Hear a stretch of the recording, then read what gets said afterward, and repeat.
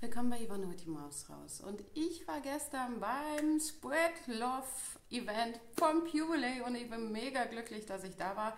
Es ist so, dass ich nicht allein dafür gefahren wäre. Das habe ich bei meinen Arbeitskollegen auch gesagt. Ich hätte gestern eigentlich arbeiten müssen auf einem Samstag und ähm, bis nach Köln hin und zurück ist eine Stunde hin, eine Stunde zurück und du weißt nicht, ob du auf der Autobahn Stau hast. Muss nicht sein, kann aber sein und ich wäre zu spät zur Arbeit gekommen. Und deswegen habe ich meine Kollegen gebeten, nicht nur allein deswegen, weil Purelay da war, weil ich gesagt habe, ich wollte auch so lange wieder zur, ähm, ich sag mal, nach Köln fahren und nach dem Primark gehen und überhaupt wieder die ganze Stadt, ich sag mal, erleben.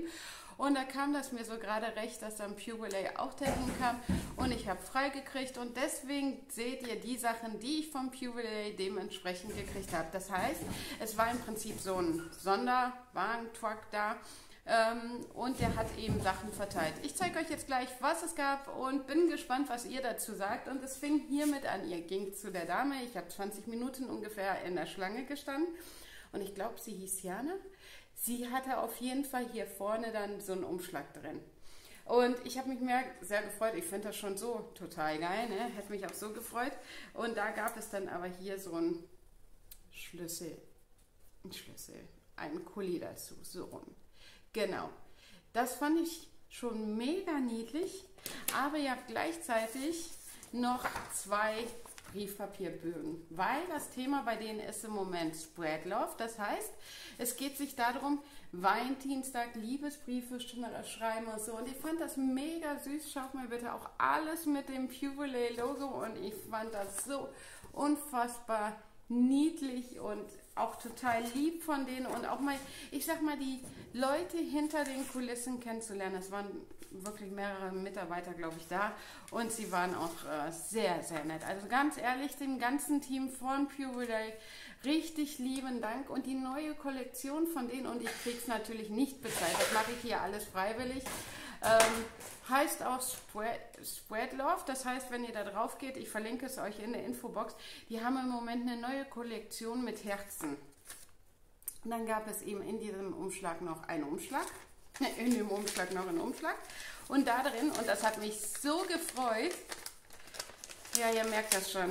Das ist, ich habe so viele Videos zu diesen Firmen schon gemacht. iQuash, Purelay. Und dann freut es mich einfach, wenn ich sowas mal in der Nähe habe und so einen kleinen Mega-Event habe.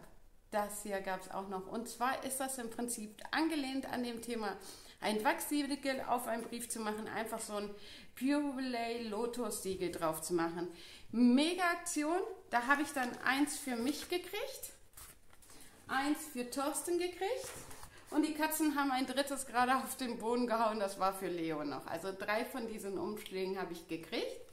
Dazu gab es noch für jeden der da hinkam, einmal kleine schöne Blumen. Und ganz ehrlich, die sind richtig schön. Das sind echte Blumen, die standen bis gerade eben noch im Wasser. Und das sieht so hübsch aus, ganz ehrlich. Die tue ich mir gleich auch wieder ins Wasser rein. Ich bin jetzt nicht so ein Blumentyp, also bei uns stehen auch nie Blumen. Und wenn, dann wären es unechte wegen den Katzen. Auch die buddeln da immer irgendwie. Auf jeden Fall war das das Grundgeschenk.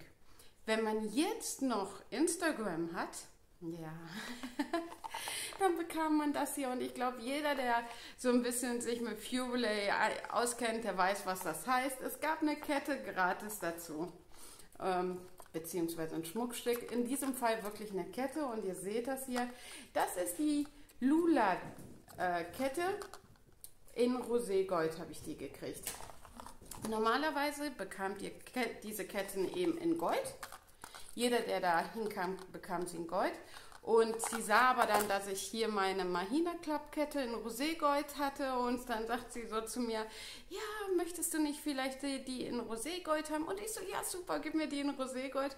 Und deswegen habe ich die in Roségold bekommen. Also ich habe das, das und das hier bekommen. Jetzt fragt ihr euch sicher, wie viel hat es gekostet? Tatsächlich hat es gekostet 0 Euro. Das war auf jeden Fall schon mein absolutes Highlight. Ich hatte da so gute Laune schon. Ich meine, man fährt ja auch extra hin und es kostet Sprit, aber ganz egal, es kommt auch manchmal einfach auf das Flair, auf das Gefühl an. Auch Leute kennenzulernen oder Leute, die dann vor mir standen, standen mich mit denen zu unterhalten und so. Es ist einfach dieses Gefühl, einfach mal wieder was zu erleben und irgendwas Schönes zu machen. Es hätte für mich auch ein Konzert sein können und ich wäre hingegangen, also jetzt allgemein. Man braucht einfach wieder diesen Tapetenwechsel, finde ich. Gut, und wie gesagt, ähm, dann stand da eben noch ein zweiter Wagen, ein kleinerer, das war der Kaffeewagen. Und da konntet ihr euch im Prinzip Kakao, Tee, heiße Schokolade, für jede Person, die da war, gab es ein heißes Getränk gratis. Das habe ich aber nicht gemacht, weil ich einen ganz schlechten Magen habe. Ich vertrage sowas überhaupt nicht. Auch mein Mann und mein Sohn haben nicht zugeschlagen. Wir haben es einfach so gelassen. Und es gab so ein Herz in Gold noch gratis für jeden dazu. Also es waren wirklich wirklich tolle Sachen und so eine Kette hier zum Beispiel, hatte ich auch mal nachgeguckt, ich meine, die lag jetzt oder liegt zurzeit bei 32,99 oder 95 so um den Dreh. Und es ist wirklich einfach mal ein wunderschönes Erinnerungsstück. Ich fand das richtig, richtig süß. Danach waren wir, es stand vor dem Schokoladenmuseum, dann waren wir in dem Schokoladenmuseum in Zusammenarbeit mit Lent. Ich finde tatsächlich, ich weiß nicht, ob es immer schon so war, ich fand, wenn ich mich an Schokoladenmuseum von damals erinnere, fand ich das heute viel, viel ansprechender. Es war richtig toll gemacht. Die hatten da richtig so eine, ich sag mal, Produktionsstraße, wo dann so kleine Täfelchen Schokolade hergestellt wurde und eben das Kind, mein Sohn, der Leonard, auch sehen konnte, wie stellt man Schokolade her, also vom Maiwerk bis, äh, dass es dann eine Schokolade gibt. Fand ich eine mega Aktion. Wir haben dann auch bei einem Quiz teilgenommen, das man ausfüllen konnte. Und da kann man dann ein großes Paket Schokolade gewinnen, also so ein Überraschungspaket. Ich nehme an von Lind, weil das eben einfach in Kooperation mit der Firma Lind ist oder der Firma Lind gehört. Und dann haben wir eben, da wo auch dieser Produktionsort ist, kann man sich eine eigene Schokolade herstellen. Und Leo durfte sich dann eine aussuchen. Also ihr habt so eine Liste voll mit Schokolade, Zartbitter oder weiße Schokolade. Und da hat er sich dann die getrockneten Erdbeeren, die Gummibärchen, die Smarties und die Sauerkirschen rausgesucht und hat sich daraus dann eben seine eigene kreierte Lindschokolade machen lassen. Der Preis war 5,95, geht also absolut, ich fand das nicht viel und konnte man nach 45 Minuten abholen. Gleichzeitig habe ich mir dann hier zum Beispiel auch so eine, nicht selbst kreierte, aber eine, die da schon stand, so eine Schokolade mit Cashewkern rausgesucht. Walnüssen und ich glaube Mandeln ist das oder so. Sah auf jeden Fall sehr ansprechend aus, hatte ich Bock drauf. Dann gab es für jeweils 99 Cent oder 90 Cent? 99 Cent zweimal diese hier. Das ist einmal mit Nougat, einmal mit Marzipan von Lind. Wird jetzt kein Schnapper gewesen sein, aber wenn ich vor Ort bin in irgendeinem Laden, dann kaufe ich immer ein klein bisschen Sachen. Und dann gab es hier einmal so eine gefüllte Tüte mit Süßigkeiten. Also ihr konntet euch die selber füllen im Prinzip. Es waren da so mehrere Behälter, ich sag mal so 10, 12 Behälter. Und dann war in jedem Behälter ein so ein Teil. Und das konntet ihr dann euch aus den Dingern raussuchen. Ob es dann hier sowas wie Nuts waren, so kleine Täfelchen Schokolade oder das ist jetzt nicht von diesem Spread Love Event, sondern das ist jetzt von diesem Lind-Aktion, dass man sich die Sachen da selber zusammenstellen konnte. Und das habe ich dann gemacht. Es gab dann auch zum Beispiel sowas wie ein Nougat hier zu kaufen. Fand ich richtig witzig, feiere ich mega. Und die Tüte habe ich mir eben auch gekauft, weil das so eine kleine schöne Erinnerung ist. Kann man eben in der Größe wunderbar zwischendurch auch mal zum Tragen äh, benutzen. Fand ich ganz süß. 30 Cent hat die gekostet. War also ein ganz guter Deal.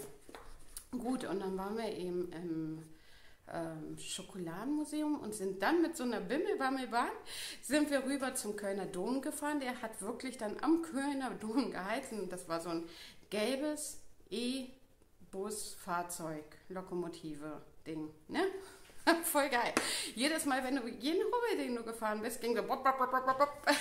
und du wurdest so durchgeschüttet. Aber es war mega witzig und wir haben dabei voll gelacht. Und dann sind wir natürlich, ähm, wenn wir in Köln sind, gehe ich auch immer sehr gerne nach, wer weiß es, Primark. Ich muss aber sagen, zurzeit hat Primark nicht so viel, was ich brauche, weil es war eben die Weihnachtssachen, da kaufe ich auch sehr viel. Aber ich kaufe jetzt selbst für mich so nicht so viel davon. Wo ich aber immer drauf stehe, ist das ja. Das nenne ich tatsächlich Gemütlichkeitshosen. Das sind einfach Kuschelhosen für zu Hause, wo ihr einfach ein einfaches, einfach ein einfaches T-Shirt drüber zieht.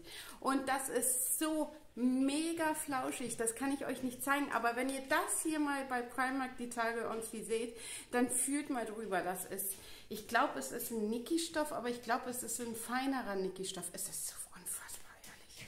Und davon habe ich auch schon, ich glaube, zwei Hosen und die wollte ich mit meinem schwarzen Pullover, den ich auch immer gerne zu Hause mit diesem großen Disney-Logo tragen, das als Kombination. Diese Hose hat gekostet 14 Euro. Finde ich jetzt nicht wirklich ein Schnapper, bin ich jetzt auch ganz ehrlich. Muss man auch ehrlich bleiben. Aber, boah, die ist so flauschig, ne? Das ist der absolute Mega-Hammer. Also ich stehe auf super Flausch, ne? Die habe ich mir dann in Größe M geholt, weil ich hole Oberteile in mein L und das hier kaufe ich in mein M. War auf jeden Fall sehr, sehr süß. Dann habe ich für mich mal wieder für den Sommer ein paar Söckchen geholt, hier mit Stitchy. Ich weiß gar nicht, ob ich die schon habe, aber das ist auch egal. Das sind so, ich sag mal, Valentinstagssöckchen. Und ich mag es einfach, ich, ich finde das eigentlich total süß. Ich fand das eigentlich schon so hammerhart niedlich, dass ich da so begeistert war, musste ich haben. Das, was ich jetzt zeige, ist unfassbar überteuert.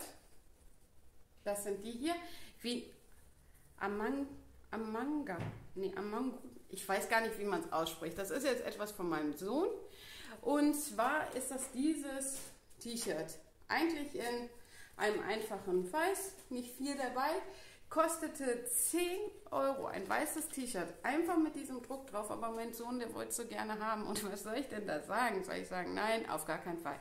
Nein, ähm, davon hatte der noch nichts. Er hat nur Spielfiguren mal gekauft bei Action von dieser Firma. Ähm, und da fand ich das jetzt auch nicht schli schlimm. Und es ist einfach schlicht, es ist gut und es ist süß und Leo ist äh, glücklich. Amok, Amok, wenn jetzt Leo da wäre, würde ich ihn fragen, shit. Aber ich muss mich nicht immer mit diesen Kindersachen auskennen, genau. Das haben wir auf jeden Fall auch gemacht und es hat mega Spaß gemacht. Ich habe viele Fotos gemacht, die lade ich gleich noch bei Instagram raus. Da mache ich nicht persönliche Fotos, einfach vom Sortiment, meistens eigentlich immer nur vom Disney-Sortiment. Ja, was soll ich anderes dazu sagen, ne? Okay. Jetzt kommt das letzte Teil, was wir gekauft haben. Und zwar waren wir dafür im Lego Shop. Und ähm, wer mich so ein bisschen kennt, der weiß, dass ich ein bisschen Lego verrückt ist. Ich habe vieles von Lego tatsächlich. Und das Ding steht gerade nicht gerade. Und da habe ich das hier gekauft. Ich weiß nicht, ob ihr das kennt. Das ist noch nicht ganz so lange, glaube ich, in Deutschland, dass man das machen kann. Und zwar kreiere deine eigene Lego-Figur. Und Leo durfte sich dann gestern ausnahmsweise eine eigene Lego-Figur kreieren. Ich hoffe, ihr seht das so ein bisschen. Und zwar hat er sich da einen äh, Fußballer gemacht. Ja, jetzt geht's. Und zwar steht da drauf vorne Fußball und hinten steht Leonard und die Nummer 6, weil er immer beim Fußball die Nummer 6 ist. Und das ist so süß. Und eigentlich gab es dann noch ein Schweinchen zu, also so eine Extra-Figur, die der sich ausgesucht Die hat er aber schon mit nach oben genommen, weil der Leo steht unheimlich auf äh, Schweinchen, weil in Minecraft der Edgar, das ist auch ein Schwein und deswegen mag der das so sehr. Und ähm, ja, das haben wir dann eben noch im Lego Store gekauft und ich finde das eigentlich sehr süß, dass man sich da wirklich, aber das hat nicht jeder Lego Store, also der in Essen hat es nicht, der in Düsseldorf hat es und so weiter. Es machen eben nur ein paar ähm, Lego Stores tatsächlich bei so einer Sache mit. Ja, und ich glaube, ja, dann erzähle ich noch eine Geschichte kurz, bevor wir das Ganze abschließen. Wir waren dann auch noch danach ähm, essen bei äh, L'Osteria, also Pizza essen bei L'Osteria. Und ganz ehrlich, ich verstehe das nicht, warum so riesig diese Pizza ist und so klein der Teller ist. Also die Pizza geht immer über den Rand und ich finde das so unpraktisch, weil du kannst eben die Pizza nicht richtig hinlegen und schneiden. Also ich würde mir wünschen, dass ähm, L'Osteria einfach Bretter oder so darunter tut und dann oder größere Teller muss ja möglich sein. Das war ja jetzt am Rande und dadurch waren wir sechs Stunden, 15 Minuten in Köln. Sechs Stunden 15, sechs Stunden 20 Minuten ungefähr. Gehen zu der Parkgarage. Und wir hatten vorher gegoogelt, wie teuer ist der Preis. 3,50 Euro die Stunde, sechs Stunden, das war vollkommen okay. Wir wären bei, ungefähr bei 20 Euro, Pi mal Daumen gewesen. Dann gibt der Thorsten, gibt er das in den Schalter rein, diesen, ähm, dieses, dieses Fahrticket. Und was kommt da? Der Preis fürs Parken war 45 Euro. 45 Euro. Ich habe gesagt, ja, was ist das denn? Ja, es hat ein klein bisschen verärgert. Also bis 30 Euro wäre ja irgendwie noch okay gewesen. Aber 45, warum 45? Weil ab der sechsten Stunde, kleingedruckt, ähm, es geht, dass man einen ganzen Tag da packt. Also, dass man wirklich dann 24 Stunden theoretisch parken darf. Wir wären aber auch nicht länger geblieben. Also, es hat dann auch gereicht. Aber ganz ehrlich, wie kann man denn nach sechs Stunden bitte zu denen hingehen, zu den Leuten und irgendwie dann, ähm, ja, einen Tagespreis abhalten. Ne? Es ist nicht schlimm, Leute, versteht es nicht falsch. Ich heule nicht rum, mir ist es egal. Zum Schluss war der Tag wunderschön, wir hatten viel Spaß, es war richtig so eine Gaudi und es hat sich gelohnt. Und es gibt auch für mich kein Verrechnis mit Purelay. Bei Purelay, die Sachen hast du alle gratis äh, gekriegt. Das war ja alles gratis. Die Blumen, der Schmuck, den Briefumschläger, alles gratis. Aber wenn ich nur nach Purelay gegangen wäre, wäre ich nach einer Stunde wieder da weg gewesen aus Köln. Es war einfach nur so, dass wir manchmal vergessen, irgendwie theoretisch das Kleingedruckte zu lesen und dann irgendwie das Dreifache, nein, nein, das Doppelte, das Doppelte vom Normalpreis gezahlt haben. Und das war sehr schade. Aber trotzdem, wir hatten so viel Spaß, es war ein wunder, wunderschöner Tag. Ich hoffe, man versteht es nicht falsch. Wir sind dahin gefahren. Ich wollte unbedingt zu Purelay und ich hätte auch es geschafft, vielleicht vor der Arbeit hinzufahren, zurückzufahren, also eine Stunde hinfahren, eine Stunde da bleiben, eine Stunde zurückzufahren, wäre vielleicht ein bisschen billiger vom äh, Parken gewesen. Aber zum Schluss ging es auch mal einfach um das Gefühl, wieder rauszukommen. Und eigentlich wollten wir, wie ich Corona gekriegt hatte, an dem Wochenende eigentlich nach Köln fahren. Und das fiel dann hin und dann danach. Und dann hatte ich letzte Woche schon äh, eine Arbeitskollegin gesagt, komm, mach du den Samstag frei. Ich brauche keinen frei. Ich komme ja gerade aus Corona-Pause und so.